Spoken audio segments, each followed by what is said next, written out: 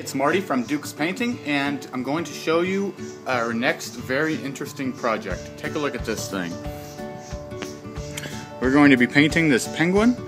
It is covered in some kind of sticker goo and we're going to be removing that. We've got to make a few repairs and then we'll be painting it a custom blue finish.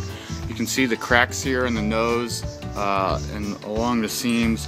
Going to be uh, fiberglassing that and then repairing it with Bondo and then we will uh, show you the finished product.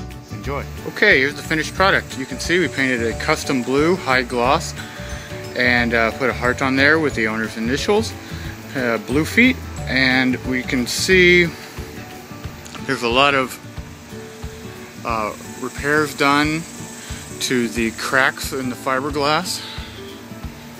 Patched all of that with fiberglass patch and Bondo, a lot of sanding involved.